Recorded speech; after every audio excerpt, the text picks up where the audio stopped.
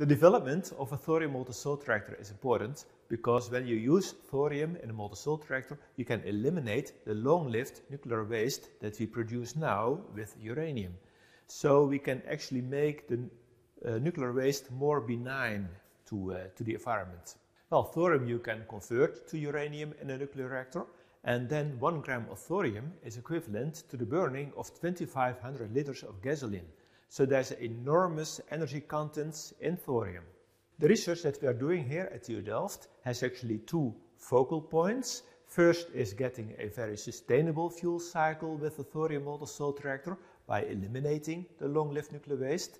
And the second is to burn the nuclear waste that we have now in the thorium molten salt reactor. So in this way, the thorium molten salt reactor is really a dual purpose reactor. With the development of the thorium molten salt reactor, we are confident that we can develop safe and sustainable nuclear energy.